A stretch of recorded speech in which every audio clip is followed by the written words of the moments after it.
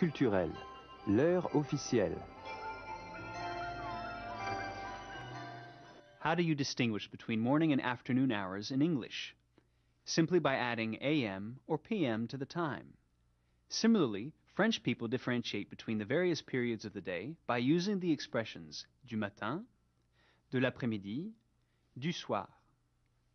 The French also have an official way of telling time, which they use on train schedules and TV listings.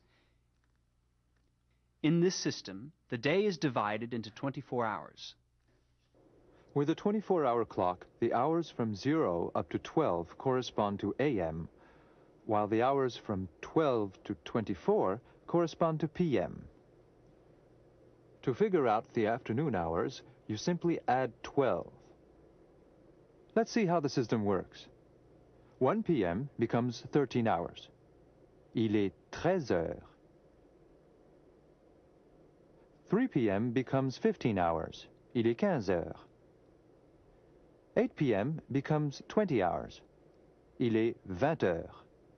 Of course, if someone tells you the official time and you want to figure out the corresponding American time, you simply subtract 12.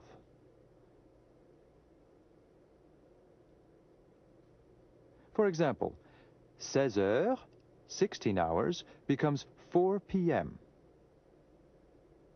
22 heures, 22 hours, becomes 10 p.m. Now let's see the complete 24-hour clock.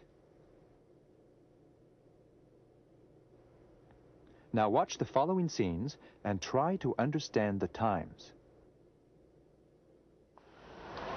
Pardon, monsieur, quelle heure est-il Il est 17h. Merci.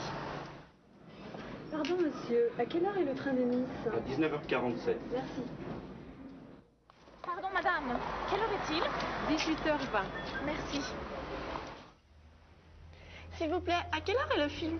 À 21h, mademoiselle. Merci beaucoup.